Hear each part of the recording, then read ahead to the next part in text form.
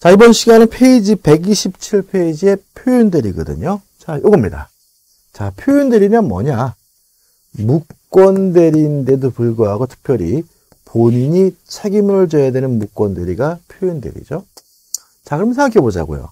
자, 표현대리가 되려면 일단 뭐가 되느냐면 무권대리가 돼야 돼요.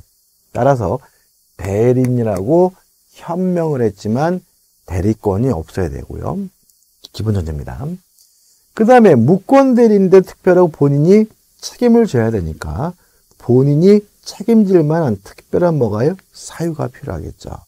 일단 교재를 보시면 1번 표현들이 의의가 나와 있는데 복잡하게 나와 있지 우리는 어떻게 기억하시냐면 무권 대리인데도 불구하고 특별히 예외적으로 본인이 책임을 져야 되는 무권 대리가 표현들이다. 그렇죠?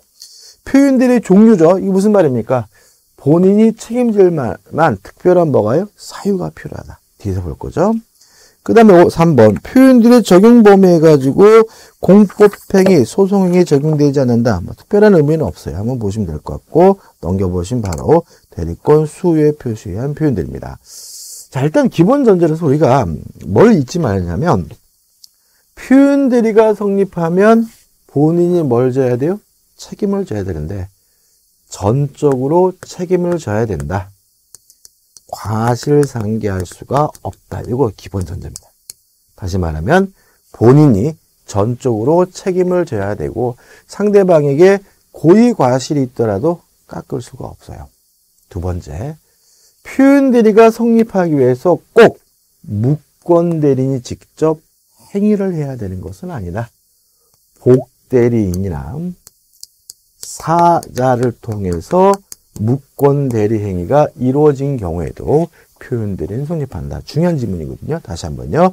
표현 대리가 성립되기 위해서 꼭 무권 대리인이 직접 행위를 해야 되는 것은 아니고 복대인이나 사자를 통해서 행위가 이루어진 경우에도 표현 대리가 성립하게 된다죠. 자, 내일 들어갑니다. 자, 본인이 특별히 책임질 만한 뭐가요? 사유가 필요한 거예요. 첫 번째 사유가 뭐냐면 대리권 수여의 표시죠. 무슨 말입니까? 자, 갑이 을에게 대리권을 수여 주지 않았어요. 주지도 않았는데 갑의 병에게 을이 내 대리인이냐라고 표시를 했다면 서로 을에게 대리권이 없더라도 본인이 책임을 져야 되는데 이거 우리가 대리권 수여의 표시에 한 표현됩니다. 자, 법조문 읽어볼까요? 자, 128페이지 상단에 125조입니다. 자, 읽어보세요. 제3자에 대하여, 이게 누구죠? 병입니다. 타인에게 대리권을 수여함을 표시한 자는 병에게 을에게 대리권을 줬다고 표시했다면 그 대리권 범위 내에 생한 그 타인과 그 제3자 간의 법률행위에 대하여 책임이 있다. 다시 말하면 서로 을에게 대리권이 없더라도 본인이 책임을 져야 된다. 요건은 뭐냐면 그러나 제3자에게 대리권 없음을 알았구나 알 수 있었을 때는 그러하지 아니한다가 나와 있으니까 상대방은 뭐여야 되는 거죠? 선이고 무과실이어야 하는 거죠. 그럼 다한 거예요. 정리해 볼까요? 대리권을 주지도 않고 줬다고 표시를 했다고 했고 상대방은 선이고 무과실이라면 서로 을에게 대리권이 없더라도 본인이 책임을 져야 되는데 여기 뭐죠? 대리권 수여에 표시한 표현들이죠. 의야 요건을 제가 설명드렸고요. 그 다음에 우측에 보시면 이런 말이 납니다. 2번 표시된 대리권 범위 내에서 한 대리행위여야 한다. 이렇게 나와 있는데 이게 무슨 말이냐면 만약에 표시된 것보다 큰 것을 하면 두 번째인 권할 넘는 표현들이로 간다는 거예요. 그 다음에 또 하나 기억할 것은 이 수의 표시 음, 특별한 제한은 없어요. 말로 하든 문서로 하든 어떤 방법이든 상관이 없고요. 그 다음에 꼭 대리인이라는 명칭을 써야 되는 것은 아닙니다. 대리인의 명칭을 써야 되는 것은 아니고 을이 영업부장이다 상무와 같은 대리권의 존재를 추정할 수 있는 명칭을 쓰는 것만으로도 대리권 수요의 표시라는 것이 우리 8입자입니다. 자, 교재 128페이지 맨 밑에 박스가 있죠. 박스 위에 동그라미 D번입니다. 자, 읽어볼게요. 반드시 대리권 또는 대리인이란 말을 사용하여야 하는 것은 아니라 사회통령상 대리권을 추단할 수 있는 직함이나 명칭, 뭐 영업부장이다, 상무다, 전무다 이런 것을 사용을 승낙 또는 묵인한 경우에도 대리권 수요의 표시에 해당한다. 이해되시죠? 근데 마지막 우측이 이제 3번에서 적용봅니다. 여기서 대리권 수요는 수권행위죠. 그러니까 수권행위를 하지도 않고 했다고 표시했다는 얘기니까 수권행위가 있는 임의 대리에만 적용이 되고 수권행위가 없는 법정 대리에는 적용될 수가 없다는 것까지 정리하시면 돼요. 자, 정리해보죠. 대리권을 주지도 않고 줬다고 표시를 했고요. 상대방은 선의 무과실이라면 을에게 대리권이 없더라도 본인이 책임을 져야 되는데 대리권 수요의 표시한 표현들이다. 요건입니다. 중요한 것은 수요의 표시라는 표시할 때 꼭 대리인이라 명칭을 사용할 필요는 없다. 영업부장, 상무와 같은 대리권의 존재를 추정할 수 있는 명칭을 쓰는 것만으로도 충분하고요. 요 대리권 수요의 표시에 한 표현들이는 임의 대리에만 적용된다. 법정 대리의 경우는 대리권 수요의 표시에 한 표현들이가 성립될 수 없다는 거 주의하시기 바랍니다. 근데 우측 하단에 보시면 이제 뭐가 나오냐면 126조의 표현들에서 권한을 넘은 표현들이죠. 적어볼까요? 두 번째. 권한을 넘은 표현들입니다. 자, 이런 얘기입니다. 갑이 예를 들어서 을에게 담보를 설정할 수 있는 대리권을 줬어요. 근데 을이 병가 만나가지고 담보를 설정한 것이 아니라 매매 계약을 했어요. 그러면 가지고 있는 권한을 넘었잖아요. 이런 경우에도 본인인 갑이 책임을 져야 되는데 이게 뭐죠? 권한을 넘은 표현들인 거죠. 법 좀 읽어볼까요? 자, 129제 하단에 아, 126조입니다. 대리인이 그 권한 외의 법률행위를 한 경우에 제3자가 그 권한이 있다고 믿을 만한 정당한 이유가 있는 때에는 본인은 그 행위에 대하여 책임이 있다 이렇게 나와 있고 넘겨보시면 의가 나오고 요건이 나와요. 자, 이거 복잡하게 나왔는데 우리 기억할 건 많지 않아요. 자, 일단 권한을 넘으려면 권한 기본 대리권이 존재해야 되겠죠. 그죠? 뭘 넘어야 되니까. 이 기본 대리권은 종류불문이에요. 교재 있는 내용이 결국은 뭐예요? 한마디로 말하면 종류불문. 뭐라도 상관이 없다. 그것이 등기 신청과 같은 공법상의 대리권이든 아니면 부부간의 일상 가사 대리권이든 뭐라도 상관이 없고 기본 대리권은 종류불문이죠. 두 번째, 넘은 행위를 해야 되기죠? 이것도 뭐예요? 종류불문입니다. 이게 무슨 말이냐면 원래 가지고 있던 대리권과 실제 이루어진 행위가 유사할 필요도 없는 거죠. 전혀 이질적이라 하더라도 상관이 없는 거예요. 다시 말하면 종류불문이죠. 그러면 여기서 기억할 것은 종류 불문인 거죠. 추가되는 것은 뭐냐면 상대방에게 무권 대리인에게 대리권이 있다고 믿을 만한 뭐가 필요해요? 정당한 이유가 존재해야 되는 거죠. 그럼 정당한 이유가 뭐냐? 선이 무과실. 다시 말하면 무권 대리인과 대리할 때 상대방은 선이 무과실이어야 되는데 언제 선이 무과실이 되냐? 대리 행위식 것. 다시 말하면 을과 병이 만나서 매매 계약을 했다면 매매 계약할 당시 선이 무과실어야 상대방에게 대리권이 믿다고 믿은 것에 대해서 정당한 이유가 있고요. 그때 본인이 책임을 지게 되는 거죠. 끝이에요. 그래서 교재 보시면 1. 기본 대리권의 존재에서 복잡하게 나와있죠. 아유 그냥 뭐예요. 종류불문 뭐라도 상관이 없다. 우측에 2번 보시면 기본 대리권의 범위를 넘은 표현들이가 존재해야 한다. 넘은 행위죠. 이것도 뭐예요? 종류 불문 뭐라도 상관이 없다. 판례들도 결국은 같은 내용인 거죠. 넘거리 세 번. 상대방은 정당한 이유가 있어야 되는데 선이 무과실을 말하고 언제 대리 행위 시를 기준으로 한다. 끝이에요. 그 다음 133페이지 오시면 적용 범위가 나오죠. 이거는 임의들이 법정들이 모두 다 적용된다. 끝입니다. 자, 다음 거예요. 그 다음 이제 마지막으로 뭐예요? 대리권 소멸의 표현들이. 자, 볼까요? 세 번째. 대리권 소멸의 표현들. 이건 더 간단해. 있던 대리권이 소멸이 됐는데 상대방이 대리권이 소멸된 것에 대해서 선이고 무과실이라면 본인이 책임을 져야 되는데 이게 뭐죠? 대리권 소멸의 표현들이고요. 잊지 말할 것이 이것도 임의들이 법정들이 따지지 않고 적용이 되겠죠. 이것도 법조만 읽어보면 되는데 자 133페이지 안에 129조입니다.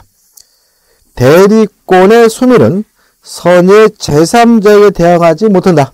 그러나 제3자가 과실로 인하여 그 사실을 알지 못한 때는 그러하지 아니하니까 있던 대리권이 소멸되고 제3자 상대방이 선이고 무과실이면 본인이 책임을 지는데 이게 뭐죠?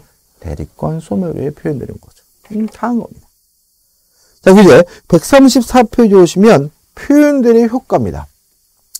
자, 1번. 표현들이는 상대방만이 추정할 수 있다. 이게 무슨 소리예요?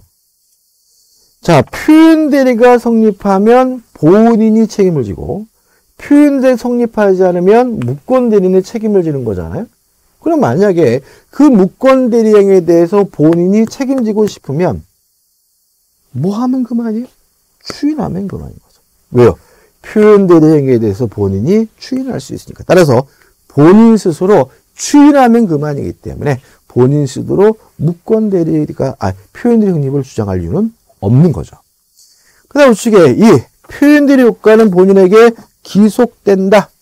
다시 말하면 표현 대리가 성립되면 본인이 책임을 지는데 잊지 말 거는 과실상계할 수 없다.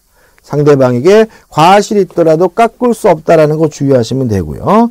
그 다음에 3번 표현들이 성립과 무권들이 상대방에 대한 책임이죠. 이게 무슨 말이냐면 협의 무권 대리와 표현 대리의 차이점은 누가 책임을 지는지만 다른 거잖아요. 따라서 표현들이가 성립된다면 본인에게만 책임을 물을 수 있고 무권 대리에겐 책임을 물을 수가 없는 거예요. 그죠? 다만 유의하실 것은 누가 책임을 지는지만 다른 것이지 나머지는 어차피 무권 대리니까 본인이 추인할 수 있고 상대방이 최고할 수 있고 상대방이 철회할 수 있다는 것은 공통적으로 적용되는 것임을 주의하시기 바랍니다. 그 다음에 이제 하나만 더 말씀드리면 모든 책임은 유효함을 전제하는 거죠. 만약에 무권 대리 행위든 뭐든 그것이 이미 확정적으로 무효라면 그때는 무권 대리니 표현 대리니 따지지 않는다는 것도 한번 생각해 보시기 바랍니다. 자 이제 확인 문제 풀어볼게요. 표현들에 관한 설명으로 옳은 것은 기억 건물의 관리를 위임받은 대리인이죠. 그러면 이 사람은 기본 대리권이 뭐예요? 관리권이죠.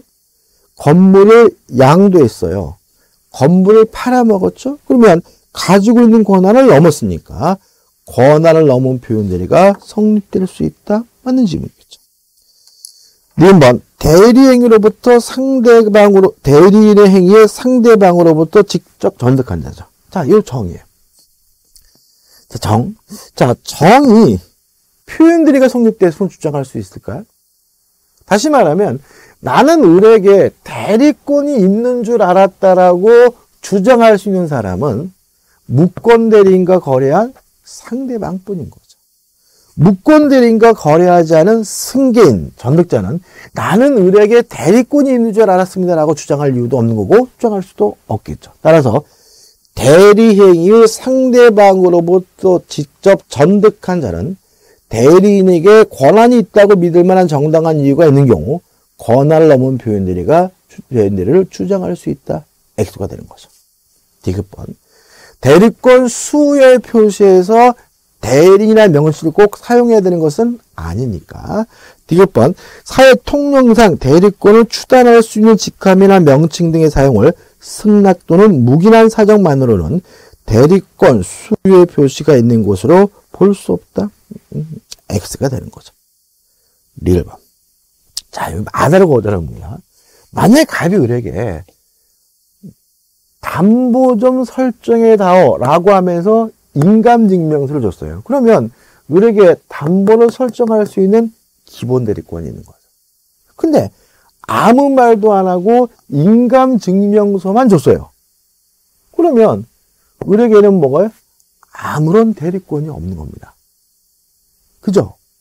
아들어가 되는 거죠. 그럼 보시면 인감증명서의 교부만으로 아무것도 안 하고 인감증명서만 줬어요. 그러면 우리에게 뭐가 없어요? 기본 대리권이 없는 거죠. 따라서 대리권 수요가 있다고 보기는 어렵다. 맞는 질문이고 따라서 옳은 것은 기억 리을에서 1번이 답이 됩니다.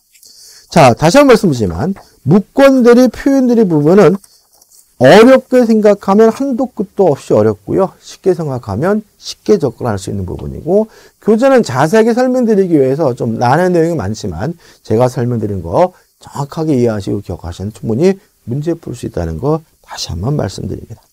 자, 이제 교재 141페이지 법률행위의 무효와 취소로 갑니다. 자, 개념입니다. 무효는 뭐야? 법률행위가 성립은 했지만 아무런 효과가 없는 게 무효. 취소가 뭐죠? 일단 유효한 법률 행위를 소급해서 무효화시키는 게 취소예요. 교재에는 지금 무효와 취소의 차이점을 박스로 정리해놨는데 이거는 이제 나중에 여러분들이 다 공부하시고 나서 비교하면서 정리하실 때 쓰면 되는 거고요. 어, 지금 설명드릴 문제는 아닙니다. 자, 142페이지 오시면 무효와 취소의 이중효라는 게 있어요. 자, 지금 우리는 공부, 그동안 공부하면서 요거는 무효다. 요거는 취소할 수 있는 법률행위다. 이렇게 따로따로 공부했잖아요. 근데 그런 것만은 아니라는 거죠. 어떤 경우에는 무효와 취소가 요건을 모두 갖추가 있는 경우도 있고 이렇게 무효와 취소의 두 가지를 모든 요건을 갖추고 있는 경우에는 아무거나 선택해서 주장하면 되는데 이걸 우리가 무효와 취소의 이중효라고 합니다. 예를 들어볼까요? 자, 갑이 을과 만나가지고 매매 계약을 했는데, 예를 들어서 다섯 살 먹은 꼬마예요. 그러면 미성년자잖아요. 따라서 갑은 미성년자 제한 능력을 이유로 요 매매 계약을 취소할 수 있는 겁니다. 근데 이 아이가 몇 살이라고요? 다섯 살이라면 또 명백히 따질 필요 없이 뭐이기도 한 거죠? 의사 무능력자이기도 한 거죠. 따라서 갑과 을 간의 매매 계약은 의사 무능력자로서 뭐이기도 한 거죠? 무효이기도 한 거죠. 이렇게 무효와 취소 두 가지 요건을 모두 충족하고 있는 경우에는 갑의 입장에서는 아무거나 선택해서 주장하면 돼요. 의사 무능력을 이유로 무효라고 주장하거나 제한 능력을 이유로 취소하거나 선택할 수가 있는데 이걸 우리가 무효와 취소의 뭐죠? 이중효라고 합니다. 경합을 긍정한다라는 표현도 쓰는 거죠. 자, 이번 법률행위 무효입니다. 자, 무효가 뭔가요? 성립은 했지만 아무런 효과가 없는 게 무효죠. 만약에 성립조차 않았다면 이게 뭐죠? 어, 법률행위 부조정인 거예요. 존재하지 않는 거죠. 무효의 종류에서 절대적 무효, 상대적 무효죠. 자, 기억나시나요? 자, 절대란 말은 모든, 모든 사람이에요. 따라서 모든 사람에게 예외 없이 무효인 것은 절대적 무효. 상대적 무효는 특정된 사람에게만 무효인 게 뭐죠? 상대적 무효죠. 그럼 역으로 말하면, 아, 역으로 말하는 게 아니라, 다른 말로 말씀드리면, 절대적 무효는 선의 제3자 보호되지 않는 거예요. 상대적 무효는 선의 제3자에게는 무효가 아니다. 선의 제3자를 보호하는 무효가 상대적 무효예요. 뭐가 원칙인가요? 이게 중요합니다. 무효는 원칙적으로 절대적 무효입니다. 따라서 특별한 사유가 없는 한 제3자는 선이라 하더라도 보호하지 않습니다. 원칙이에요, 원칙. 원칙과 예를 비교바뀌지 마세요. 다만 예외적으로 선의 제3자를 보호하는 상대적 무효가 있는데 상대적 무효는 의외로 많지 않아요. 두 가지밖에 없어요. 첫째, 진이 아닌 의사표시로서 무효인 경우. 두 번째, 통정허위 표시로서 무효인 경우죠.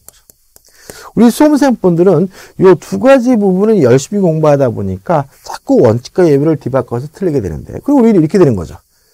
통정허위 표시와 진이 아닌 의사표 제외한 나머지 모든 무효는 절대적 무효이기 때문에 원칙적으로 제3자는 선이라 하더라도 보호되지 않는다는 거 꼭 기억해 두시기 바랍니다. 우측에 당연 무효, 재판상 무효. 당연 무효라는 말이 무슨 말이에요? 누가 주장하지 않아도 당연히 무효인 것이 당연 무효고 재판상 무효는 뭐겠습니까? 재판을 통해서 주장해야 되는 것이 재판상 무효겠죠. 근데 교재에 나와 있는 재판상 무효의 예를 보다시피 상법 얘기가 나옵니다. 무슨 말이에요? 우리 민법이잖아요. 민법상 무효는 뭐죠? 당연 무효입니다. 우리 시험 범위 안에서 무효는 당연 무효이기 때문에 누가 주장하지 않아 당연히 무효라는 거 주의하시기 바랍니다. 그 다음에 전부 무효, 일부 무효. 전부가 무효면 전부 무효고 일부가 무효면 일부가 무효겠죠. 뒤에서 할 거예요. 네 번째, 확정적 무효, 유동적 무효. 한 번 무효면 영원히 무효인 것이 원칙인데 이걸 우리가 확정적 무효라고 하고요. 지금은 무효지만 유효로 뒤바뀔 가능성이 있는 무효를 유동적 무효라고 하고 유동적 무효는 예외인 거예요. 뒤에서 자세히 볼 겁니다.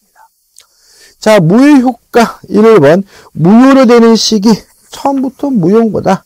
그 다음에 2번 무효와 부당이득이 나옵니다. 자, 한번 적어보자고요. 자, 성립은 했지만 아무런 효과가 없는 게 무효다. 따라서 무효면 이행할 필요도 없는 거예요. 그렇지 않습니까, 여러분들? 이행할 필요가 없다는 말은 이행하지 않아도 책임지지 않는다는 거죠.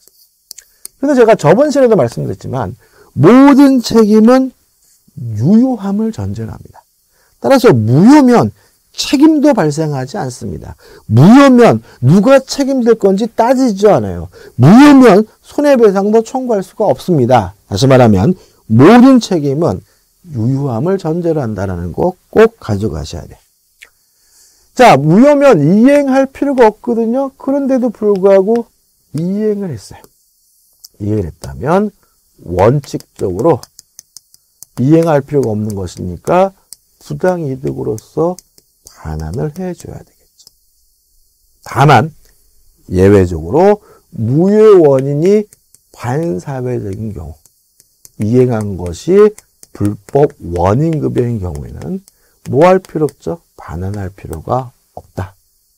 그 다음에 무효는 절대적 무효가 원칙이기 때문에 진이 아닌 의사표시와 통정의시 빼고는 선의 제3자도 보호되지 않는 것이 원칙이라는 거 꼭 가져가셔야 됩니다. 자, 그 다음 이제 144페이지 일부 무효의 법률이 나옵니다. 자, 144페이지에 137조입니다. 법률행의 일부분이 무효인 때에는 그 전부를 무효로 한다. 그러나 그 무효 부분이 없더라도 법률에 하였을 것이라고 인정될 때에는 나머지 부분은 무효가 되지 아니한다죠.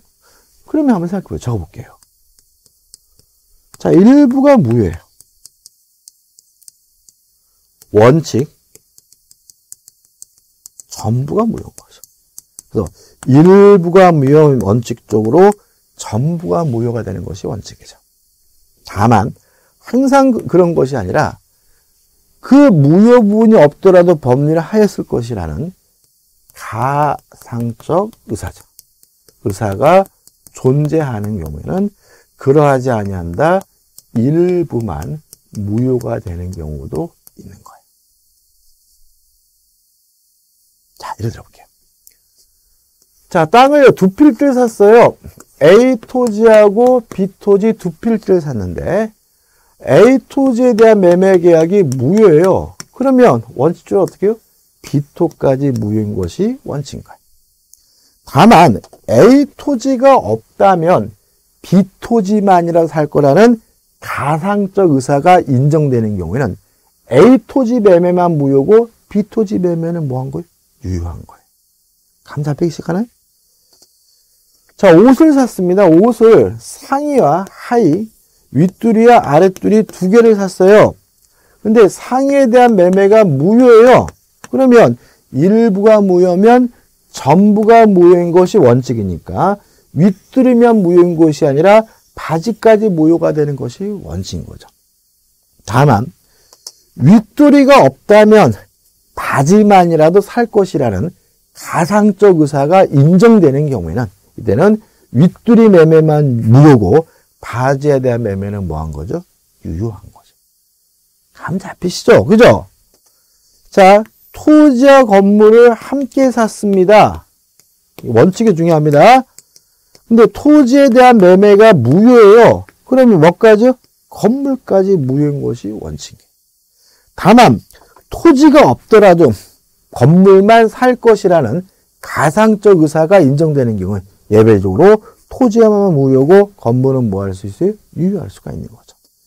교재 보시면 1번 원칙 전부가 무효인 것이 원칙이다. 2번 나머지 부분이 유효로 되기 위한 요건 일부만 무효가 되기 위한 요건 1.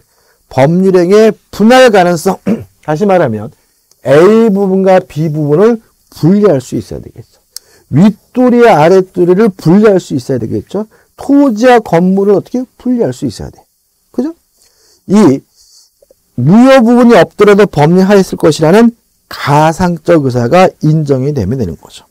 3번 적용 범위 당사자가 특이하고는 달리 정할 수 있다라는 거 어, 똑같고요. 그 다음에 일부 취소도 마찬가지다. 그래서 일부분의 취소 사유가 있으면 원칙적으로 전부가 무효가 되지만 그 취소 부분이 없더라도 법률을 하였을 것이라는 가상적 의사가 인정되는 경우는 일부만의 취소도 가능한 거죠.